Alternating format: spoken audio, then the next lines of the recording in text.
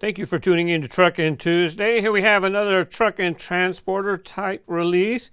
The package is called UFO Squad. I don't know if this truck design has had another release or not. I know people are going to like that car right there. Mm, copyright on the package, I think, was 2012. We might as well look right now since I forgot. 2011, so it was probably a 2012 release.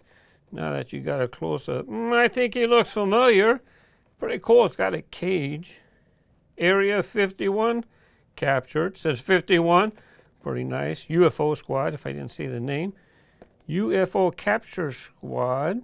Nice that it has graphics. By the way, this model right here, Octainium, only in these colors with this package.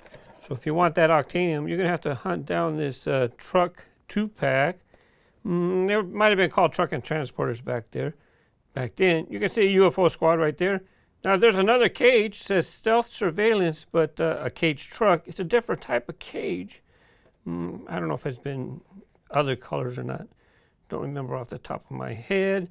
Hey, there's a Bumblebee's Buzz Buzz Bomb. I knew I'd get there eventually.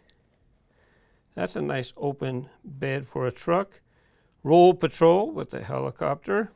And that car right there, it's a little hard to see. Might be Monoposto. Over here, Musclemania. Hey, Fast Fish. That one's easy to recognize. Here's the site that was visible in the package. Let's see, you got an alien. It says captured 51. Let's take a look at the other side. Yep, same thing, just reversed graphics. Here we have an alien head in 51.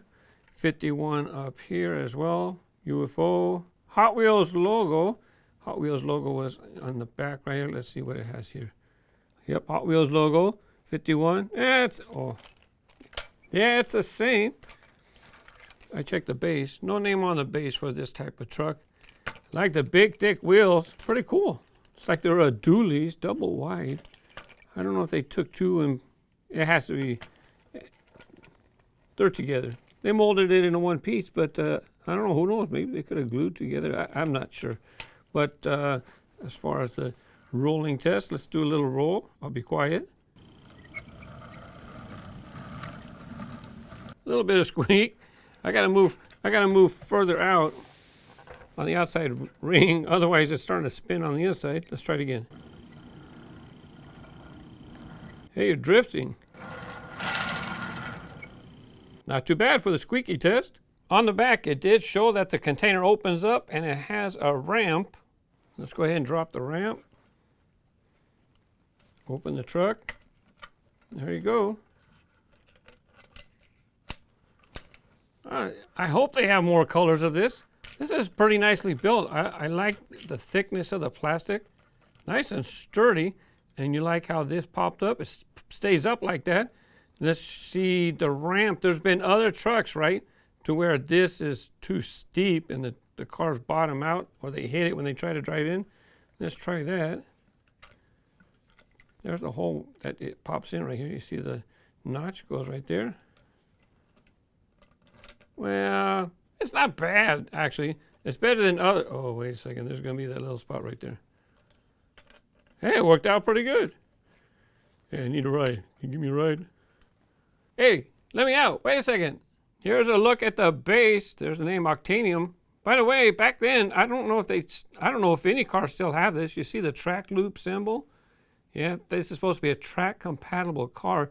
That's why they were putting that track loop symbol. That's not a circle flame logo. It's a loop. It's a track loop. Let's take a closer look. Hey, there's that uh, alien that they showed on the side of the, the truck, again, with the 51 decorations.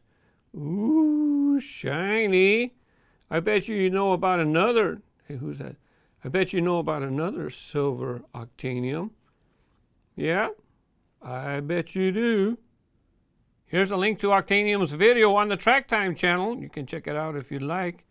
There was another car that was in the original release of the Super 6 Lane Raceway.